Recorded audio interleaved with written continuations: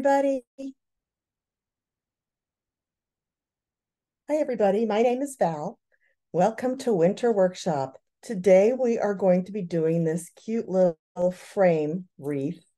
So um, it doubles as a frame. We're going to start with our unfinished wood frame.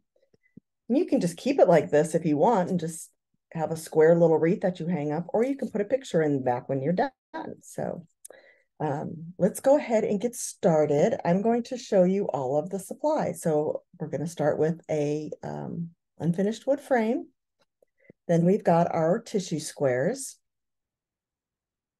And we've got some paint, some sequins to decorate with, some pom-poms to decorate with, some glue. I poured my glue into a, a little container. It's just a lid of a jar. Um, and I'll show you why. You don't have to do this, but I'll show you why, and you, you can watch what I'm doing. Um, and then some foam to make a bow when we're done, paintbrush, and then I've got a little container of water here to clean my paintbrush off when I'm done painting. So let's get started. I'm going to move this aside for now, and we're going to go ahead and open our frame. Still got it in the packaging. I'll go ahead and open the plastic. You get a little um, stick back here Y'all probably know what that's for, but I'm going to show you anyhow.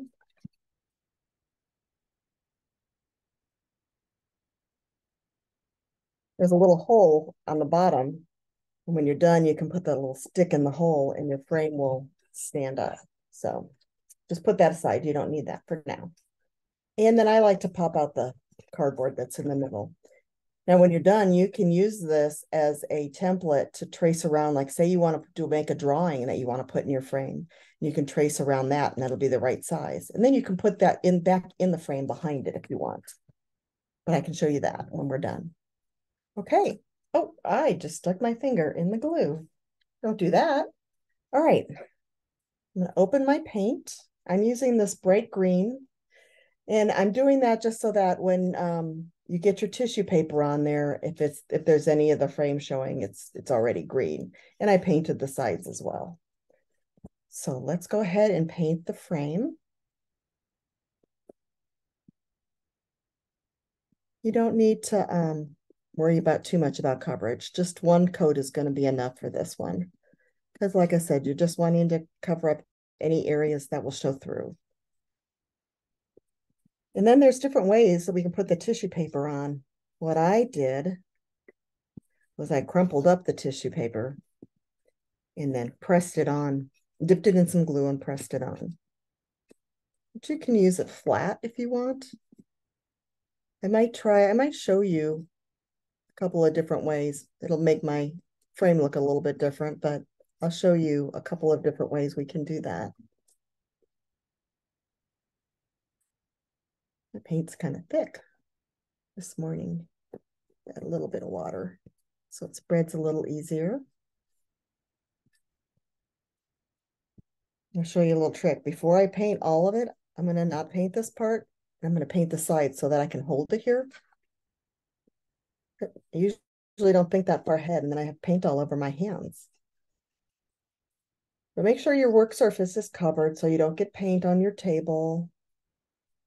I have a piece of old poster board here. Use any kind of paper, newspaper, copy paper, plastic tablecloth. I like to use plastic tablecloths when I paint. Just those cheap ones that you get for parties.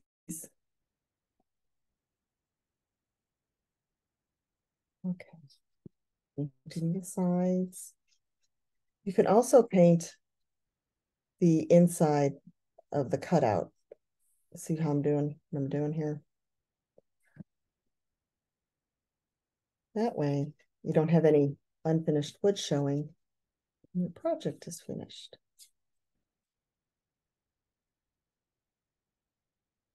If you don't put your paint on too thick, then we won't have to you won't have to wait too long for it to dry. So hopefully mine's not I don't think mine's too thick. To dry pretty fast. So I've got to finish my edges.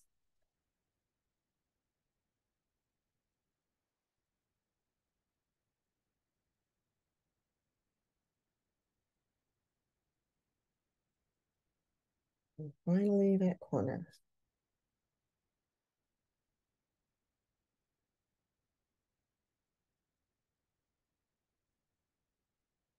All right, Okay, so I put my my uh, paintbrush in the water and clean my paintbrush off. This is a good practice to get into if you, when you're painting and doing crafts with paint, because you want to keep your paintbrushes usable for the next project.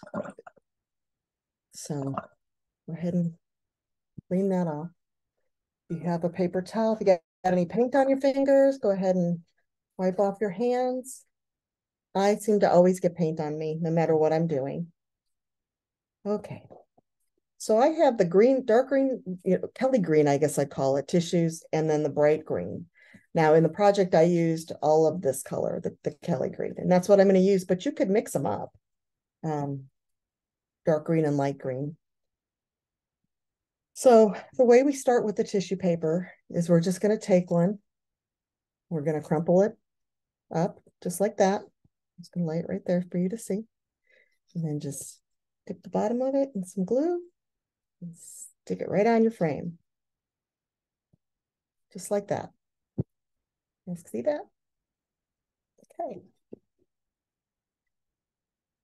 So this is going to take a little while because there's a lot to fill. So just go ahead and get started.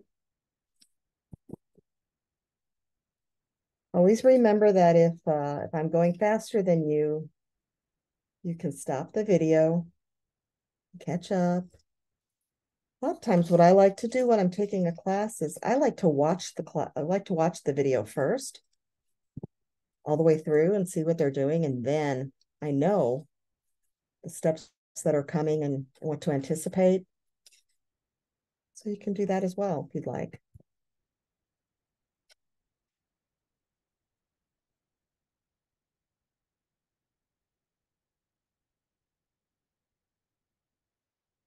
You can always just add some glue to your to little areas on your frame.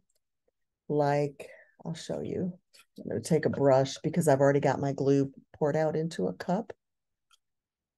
But you could could add a little glue just a little bit at a time because it does dry pretty fast. And then try just putting your tissue paper right on that too. So there's different ways you can do it. But you do need to use a wet glue as opposed to a glue stick. I think the, I mean, a glue stick might work, but you're going to get a better result, I think, from this wet glue, from the craft glue. I call it wet glue because it has to dry. Okay. When I get to the bottom on this side, I'm going to show you a different technique we can do. I think this might be the, the quickest way because you're just kind of scrunching them up and sticking them down. Crunch and stick. Okay, I'm gonna go on this corner and I'm gonna show you something else you can do. And this would go really faster too if you wanted to do it this way. So I'm just gonna put some glue on the bottom of that, and then you can just lay your tissue just like that. Now that might be a fun area to do some of this bright, bright green and alternate and overlap.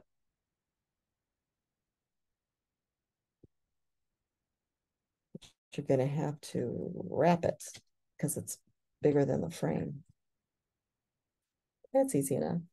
You can just do that. So that's another way you can do it.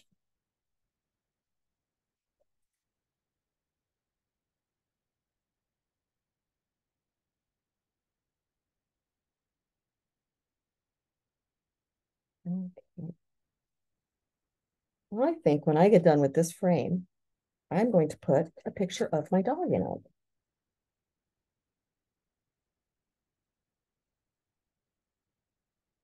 And she's cute. You can draw a picture. This would make a nice present too for the holidays. Make this for your teacher or one of your parents or another adult, grandma, grandpa. Can be a decoration in your house.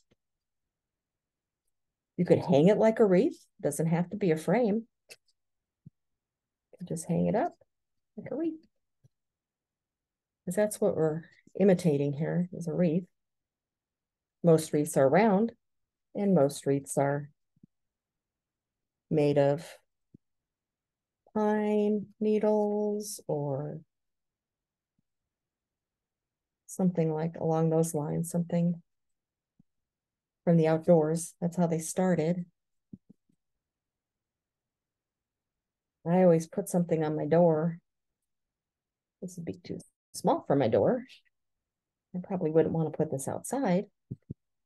But I think uh I think uh anybody who got this as a present, if you wanted to make it as a present, would think it was pretty special.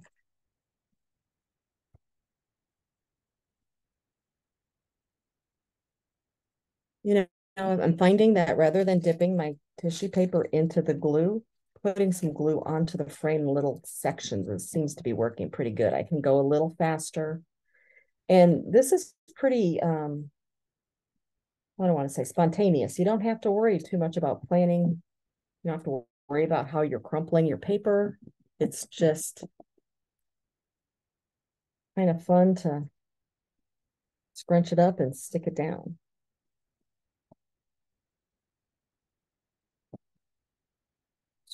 Again, we're just scrunching it up and sticking it down. So once we get all this on, we're going to decorate it with sequins and pom-poms. Really add anything you want that you have in your craft stash, but for this project, we've used sequins.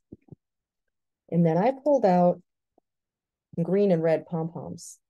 But just like this wreath, I'm making it green, but you can make it any color you want. So if you want a purple wreath, go for it.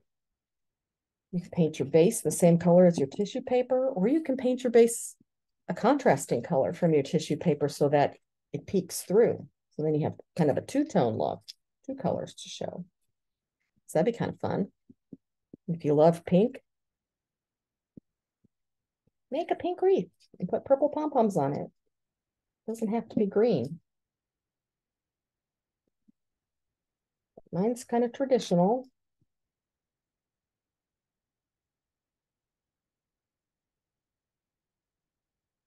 Is going a little faster than I thought it might. We're almost around the, the last corner.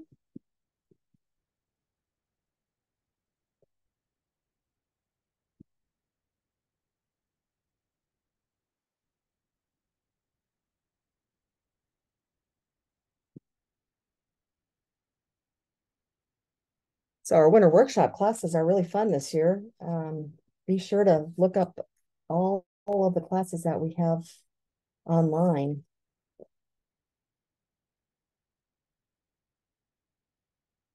I'll be teaching some other ones as well. 12 days, winter workshop. So that means there's 12 classes. You can look up and follow along. All the supplies should be listed and you have to do is sit in front of your computer and get your workspace ready. Okay, there's my wreath. Now I'm, I did use a paintbrush. It's an old paintbrush. And I am rinsing it out really good because I don't want the glue to stick in it. Otherwise the paintbrush will be ruined. But you can, you don't need to use a paintbrush to put your glue down like I did. But that's just how I got started. Okay, so there's my wreath.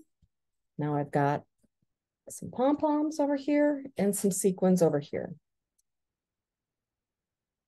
So I am going to just start gluing on some sequins. I'm going to use some colorful ones. Now this part, I will probably get glue on my fingers and so probably will you. If you want to keep a, a paper towel that's been made damp nearby to wipe off your fingers. I use baby wipes sometimes. You have those laying around. You have a little baby in your family. You might have some of those. It's one of my favorite craft supplies. baby wipes. Because they're always wet. Unless I leave them open, then they're not wet anymore. Okay.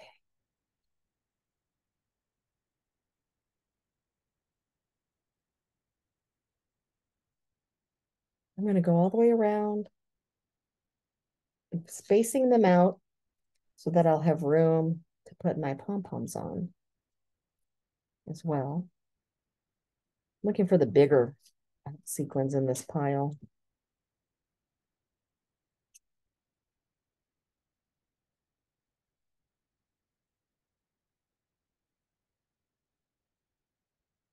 My little dog just came in my room. I'll show you a picture of her. Here, come here. She wants to say hi. Here's my little dog. Hi, everybody. She likes to craft with me. She came in from outside and was crying to come see you.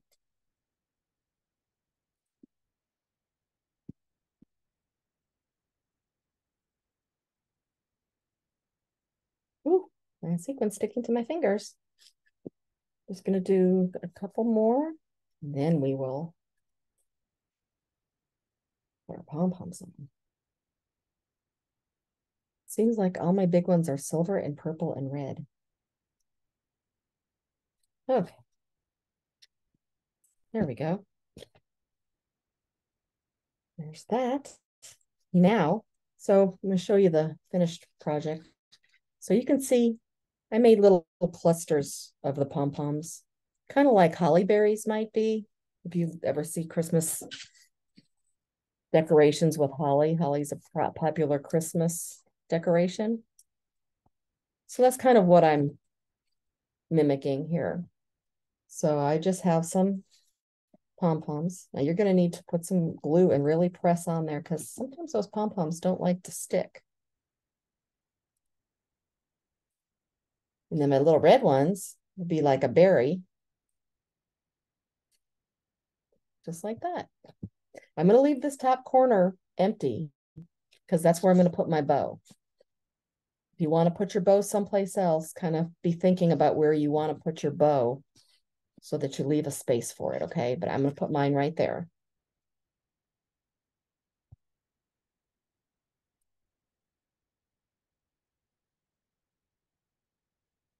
You can put as many or as few um, of these pom-poms on as you want. Doesn't need too many, but it just adds a little interest to your project. Okay, I think that's, we'll put one down here, put a couple down here.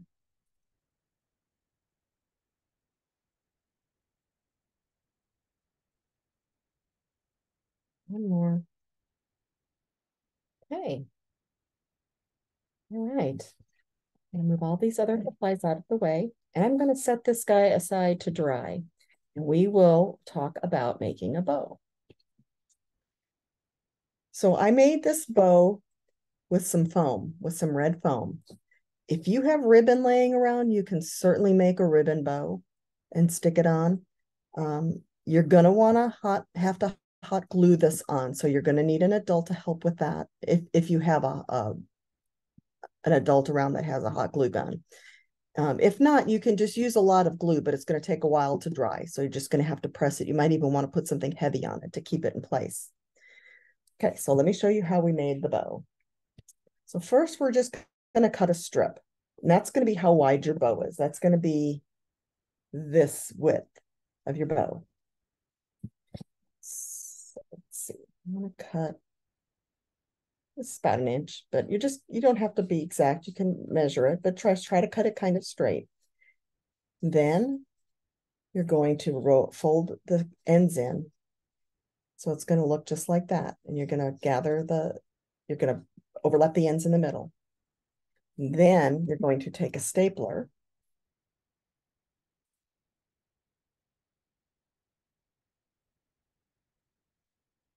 and staple it to secure it. Now, the reason I'm using a stapler is because you could use glue, but it's just going to take a while to dry and you're going to have to put something on it to hold it in place, okay? Um, so if you want to do that, that's fine. You just have to do this in steps and come back and see the rest of the video after it dries. So now we're going to make um, the loop that kind of comes around the center. So let's see. I'm going to cut a piece, uh, think about that long, and then about like that. I think my, my pieces are all about an inch. If, if you want to measure it, that's fine, but you don't have, certainly don't have to measure. Nope, that's not quite long enough because I'm going to want to, well, you know what I'm going to say? As long as we got the hot glue gun out, this is where you might, you're going to need help. I'm going to have to glue these ends in place. and be really careful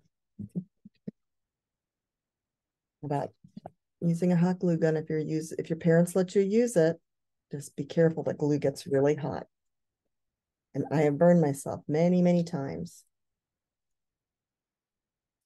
we're just going to press and hold for a minute okay there we go whoop didn't have enough glue and it was not quite cooled off that glue dries as it cools.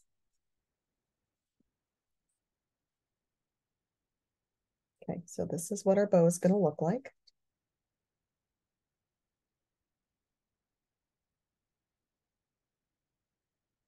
Now I'm going to make these little tails. Now, if you tied a bow, that would be part of your of your tying part, but I'm going to cut a little bit of foam for the tails. Now I want them to be about the same width. So I'm going to lay one on top of the other and cut it so that they're equal, roughly. So this is what you'll be doing. You have a bow and your little tails, just like that. So first, before we, we cut, we uh, glue it, I'm to show you. See how I cut little triangles in the bottom? That's just how a lot of bows are cut and it makes it look nice. So I'm going to do that. And to do that, what you can do is fold your foam in half, that, and cut from the pointy end up to the middle. And then you have that. Here's my other tail. Let me get rid of my scraps. Fold it in half roll it just like that. Now you can do this with, like I said, ribbon, with construction paper, with cardstock, with, you know, other other items. We're just using the foam because we have this for this project. So that's how my bow's going to look. So I am going to put a little hot glue there in there. I'm going to lay them like that and press my bow in place. And I'm just going to hold it, give the glue a little time to cool off. And there's my bow. So let's get our frame. That's where I'm going to put my bow. So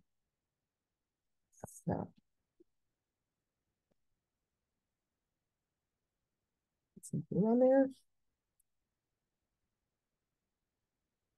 press it and hold, knocking over all of my supplies.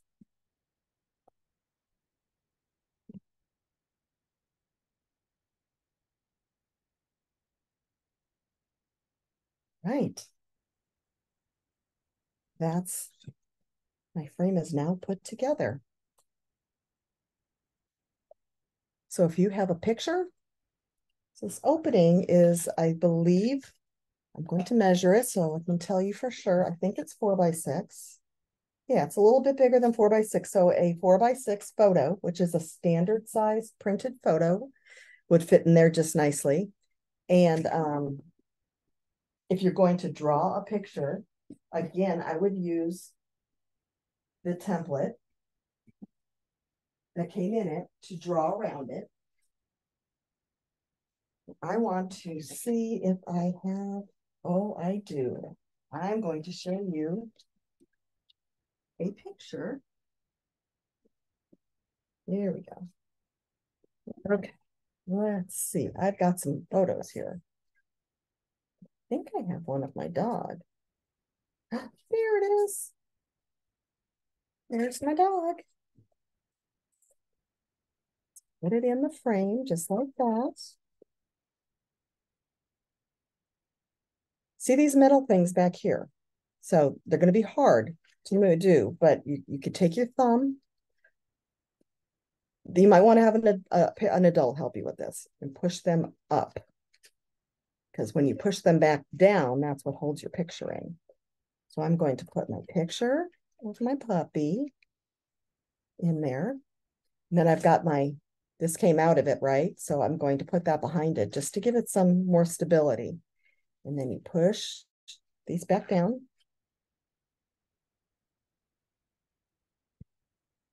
Oh, some of my pom-poms came off. We're going to glue them back on because the glue takes a while for the glue to dry. So you might want to, before you handle it to put your picture in, you might want to let everything dry. That went there. And there we go. What do you guys think? I think this was a fun project. Um, I think this is going to be one of my Christmas decorations. So that's that's the project, you guys. I, I hope you had fun making it. Um, like I said, if it goes along too fast, go ahead and just stop the video, catch up.